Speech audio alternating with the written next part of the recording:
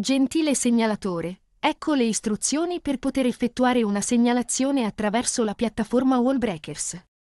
Possono essere segnalati comportamenti, atti o omissioni che ledono l'interesse pubblico o l'integrità dell'amministrazione pubblica o dell'azienda e che consistono in illeciti amministrativi, contabili, civili o penali. Condotte illecite rilevanti ai sensi del decreto legislativo 231 del 2001 o violazioni dei modelli di organizzazione e gestione.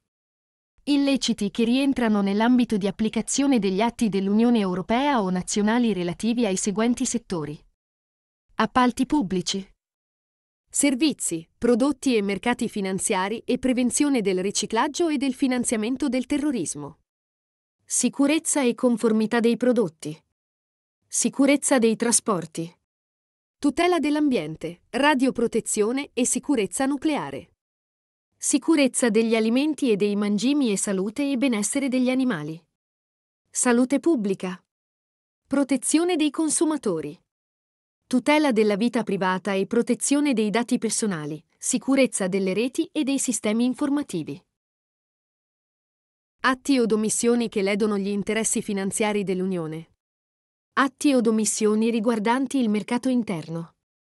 Atti o comportamenti che vanificano l'oggetto o la finalità delle disposizioni di cui agli atti dell'Unione. Sintetizzando, possono essere quindi segnalati tutti quei comportamenti che possono danneggiare la reputazione o la stabilità finanziaria di un ente o di un'azienda. Un esempio pratico è una segnalazione fatta perché le verifiche agli estintori presenti in azienda non sono state effettuate. Questo comportamento, oltre a essere pericoloso, potrebbe portare a una sanzione per l'azienda causando danno alla stessa. È importante che venga segnalato all'azienda ed ecco quindi che possiamo segnalare utilizzando la piattaforma. Chi può effettuare una segnalazione? Chi è collegato in senso ampio all'organizzazione nella quale si è verificata la violazione che potrebbe temere ritorsioni se si esprimesse direttamente agli enti preposti in considerazione della situazione di vulnerabilità economica in cui si trova, e segnatamente i dipendenti, i lavoratori autonomo, i collaboratori esterno, i liberi professionisti e consulenti. Soggetti terzi che intrattengono rapporti con l'azienda, ad esempio clienti, fornitori, distributori, eccetera. Colui che svolge tirocinio retribuito o meno.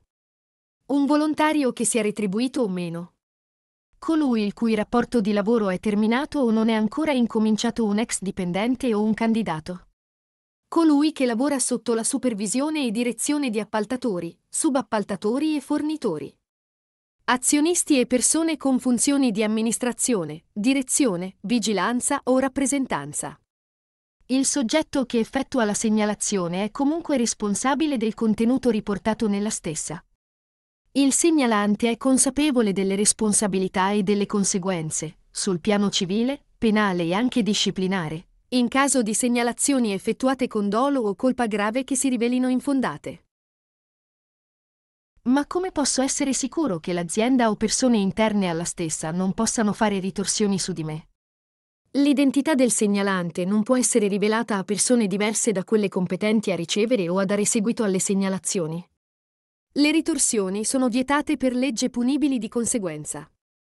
La protezione riguarda non solo il nominativo del segnalante, ma anche tutti gli elementi della segnalazione dai quali si possa ricavare, anche indirettamente, l'identificazione del segnalante. La segnalazione è sottratta all'accesso agli atti amministrativi e al diritto di accesso civico generalizzato. La protezione della riservatezza è estesa all'identità delle persone coinvolte e delle persone menzionate nella segnalazione fino alla conclusione dei procedimenti avviati in ragione della segnalazione, nel rispetto delle medesime garanzie previste in favore della persona segnalante. Le segnalazioni interne ed esterne e la relativa documentazione sono conservate per il tempo necessario al trattamento della segnalazione e comunque non oltre 5 anni a decorrere dalla data della comunicazione dell'esito finale della procedura di segnalazione, nel rispetto degli obblighi di riservatezza di cui alla normativa europea e nazionale in materia di protezione di dati personali. Le segnalazioni e presa in carico dal gestore della segnalazione sono gestite nel pieno rispetto delle normative a tutela della riservatezza dell'identità del segnalante, del segnalato, di eventuali terzi barra testimoni citati e dei fatti riportati nella segnalazione. Fare una segnalazione è semplicissimo. Per prima cosa clicca sul pulsante Invia una segnalazione. Dopo aver letto attentamente eventuali indicazioni relative alle modalità che l'azienda ha scelto per gestire le segnalazioni, procedi per la compilazione del questionario. Prima di procedere con il questionario vero e proprio potrebbe esserti richiesto di scegliere propedeuticamente il tipo di segnalazione che potresti fare. Nel caso scegli il canale che più si addice al problema, altrimenti verrai portato direttamente al questionario. A questo punto procedi rispondendo alle domande che ti vengono proposte. Alcune risposte sono obbligatorie per poter procedere con l'invio della segnalazione e sono contrassegnate da un asterisco rosso. Finito di compilare le domande sei pronto per inviare la tua segnalazione. Per poter concludere la segnalazione clicca sul tasto Invia in fondo al questionario. Il sistema prenderà in carico la tua segnalazione e la invierai ai soli riceventi autorizzati alla gestione della stessa. Entro sette giorni dall'invio la tua segnalazione verrà valutata e verranno presi i necessari provvedimenti per gestirla entro 90 giorni. Attendi che il sistema prenda in carico la segnalazione e scriva a video la ricevuta della tua segnalazione.